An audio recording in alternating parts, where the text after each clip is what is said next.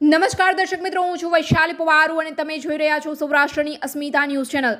તો એક નજર આજના મુખ્ય સમાચાર પર બનાસકાંઠાથી. લાખણી તાલુકાના કોટડા ગામે ખેડૂતોએ બટાકા કાઢવાના શ્રી ગણેશ કર્યા.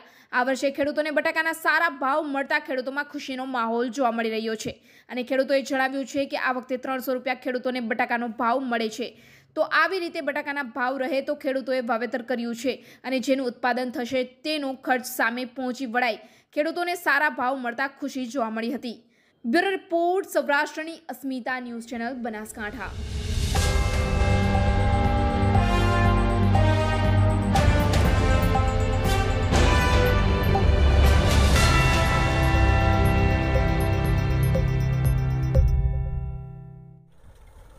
આ સાલ બટાકાનું વાવેતર બાદશાહમાં ઉત્પાદન પણ સારું છે અને ખેડૂત મિત્રોને આ આ શાલ પણ લાભ પણ મળશે અને ભાવ પણ ટકી રહ્યા છે ત્રણસો રૂપિયાના. એટલે સરકાર શ્રીને વિનંતી કે આ ત્રણસો રૂપિયાના ભાવ જ હોવા જોઈએ. એથી ઘટવા ન જોઈએ એટલે ખેડૂતોને પૂરતો લાભ મળે. અને આ શાલ પણ માલમાં અમુક પોકરાજ અને ખાતીમાં પણ ઉતારો ઓછો જોવા મળ્યો છે. અને બાદશાહમાં પણ સારો ઉત્પાદન છે એટલે ખેડૂતોને સરભર થાય એવું લાગે છે.